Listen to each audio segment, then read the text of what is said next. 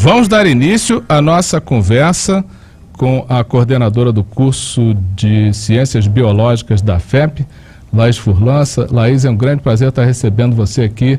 Bom dia.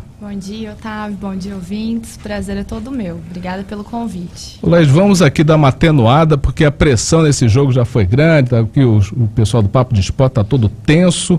Laís, vamos falar um pouco sobre uma profissão que sempre me chamou a atenção pelo fato de que a diversificação de atividades dela é tão grande que chega a ser é uma coisa espantosa, que são as ciências biológicas. Porque o sujeito pode é, optar por estar no escritório, no campo, no laboratório, no fundo do mar, no espaço, né? Tem agora biologia exoespacial, estão estudando, tem biólogos é, é, estudando as rochas de Marte. Ou seja, é para biólogo é tudo, né? Estuda a vida. Fala um pouquinho sobre essa profissão. É isso aí, Otávio. Eu acho assim. Defendi que... bem, né? Defendeu. Obrigadão. Vendeu o peixe do biólogo. Mas é isso aí. É uma profissão assim que todos os dias eu, eu me orgulho e não me arrependo nem um pouquinho de ter escolhido, é, exatamente pela diversidade, né? O leque de possibilidades profissionais que abre o curso de ciências biológicas. E eu acho que a gente tem que ressaltar que a característica principal o profissional ter sucesso nessa área é o ser curioso, né? Então, para você ser um bom biólogo, acima de tudo, você tem que ter curiosidade, né?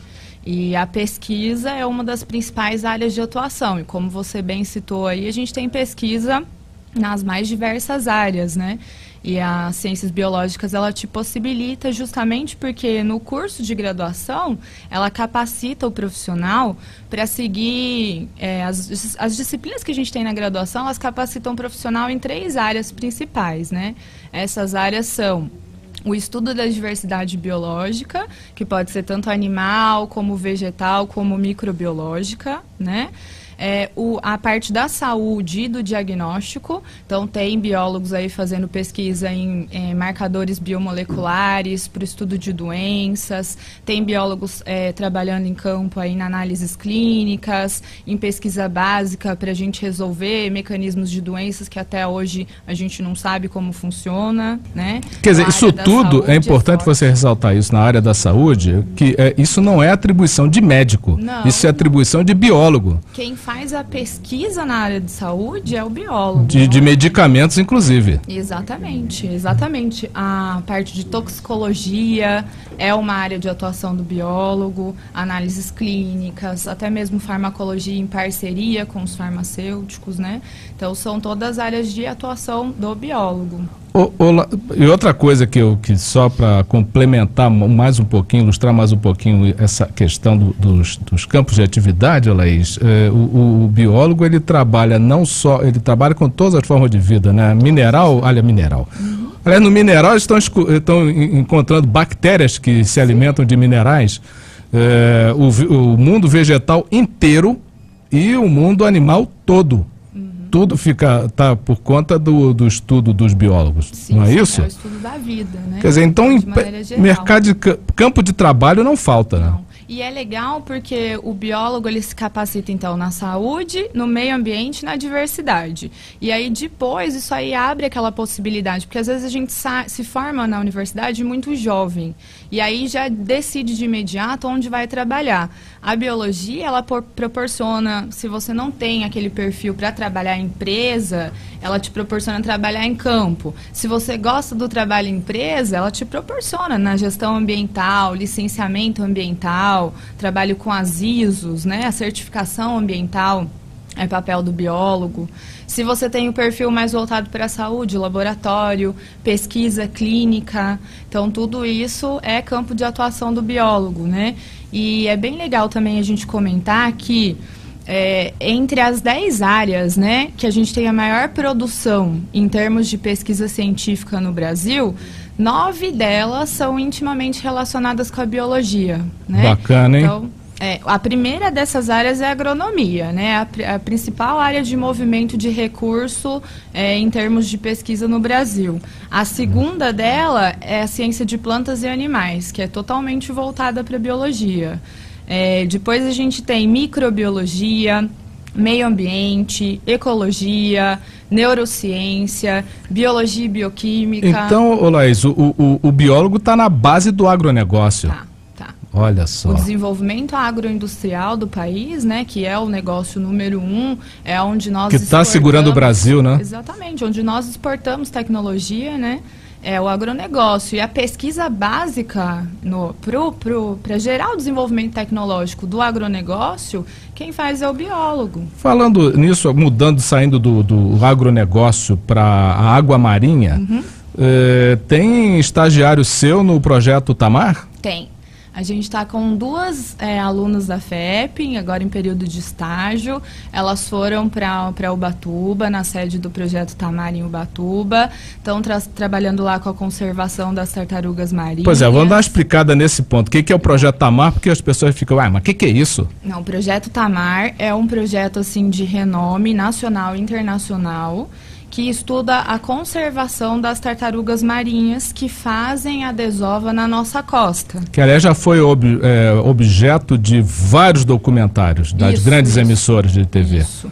Então é uma espécie que corre o risco aí, né? Tá ameaçada de, de, extinção e ela vem fazer a desova na nossa costa, tanto aqui em Ubatuba quanto em Fernando de Noronha, que é onde o projeto Tamar tem as suas sedes aqui no Brasil, né? E duas alunas aqui da FEP, a gente tem muito orgulho de falar sobre isso, né? É, estão lá agora nesse período de férias, fazendo um estágio lá, trabalhando diretamente com a conservação, que é muito legal. A muito gente tem bacana. um aluno nosso também que está indo agora no final do ano trabalhar, fazer estágio, né, no zoológico de Ilha Solteira. Então, também são do, dois exemplos relacionados à área de diversidade, né, que é um campo de, de, atuação do biólogo. A gente tem também estagiários aqui na parte de análises clínicas, então a parte laboratorial. Temos uma aluna que está indo agora em junho, agora finalzinho de junho, começo de julho, é, para Santo André. Ela vai trabalhar com embriologia in vitro vai fazer inseminação artificial de bovinos, trabalhar okay. com desenvolvimento de embriões geneticamente modificados, que é uma área interessante. Muito, também. muito. Inclusive a equipe da FEP é que fez o levantamento daquela área de, eh, de proteção ambiental que tem em torno do, do laboratório de astrofísica, Isso, do, astrofísica lá no, no, no Pico dos Dias. Exatamente, no, no grande observatório. Pico dos Dias, que é uma reserva ecológica, né? A gente tem vários alunos fazendo trabalho de estágio, professores, em parceria com a LNA. Aliás, agradecer ao pessoal do laboratório lá, que estão sempre de braços abertos para receber nossos alunos. Estão fazendo um trabalho muito legal lá. A gente tá, tem várias pesquisas sendo desenvolvidas na reserva ambiental e temos aí um projeto de elaborar até um livro sobre a diversidade biológica lá, tanto animal quanto vegetal da reserva, que é um patrimônio nosso, né? Bacana. Ô Laís, é, o curso de Ciências Biológicas dura quanto tempo? São quatro anos de curso. Quatro tá? anos. Isso, quatro anos. O curso é noturno, né? Uhum. E é importante a gente ressaltar que lá a gente sempre prioriza para essa parte dos alunos desde o começo terem contato tanto com a pesquisa, então a partir do primeiro ano eles já têm contato com a pesquisa, sempre com professores orientadores dando suporte, né? E eles podem começar já em projetos de iniciação científica, em práticas a campo então o curso faz muitas visitas técnicas. Acabamos de ir agora no comecinho do mês também para o Zoológico de São Paulo, dia 8 agora de junho. A gente foi para o Zoológico de São Paulo fazer uma visita monitorada na parte dos bastidores do zoológico. Foi muito legal, os alunos aprenderam demais com a visita, né?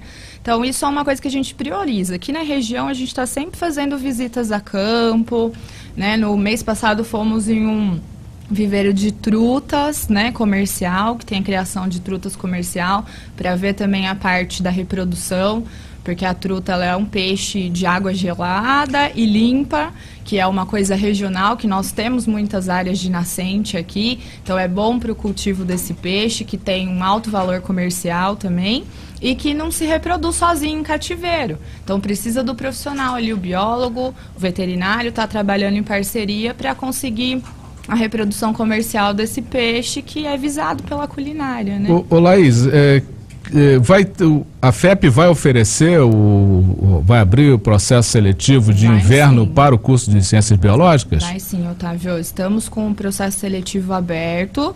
As inscrições vão até dia 11 do 7, agora de julho. Hum. É, a prova é dia 14 do 7, às 9 horas da manhã. Então, o processo seletivo está aberto para o curso de Ciências Biológicas e para os outros cursos também, né?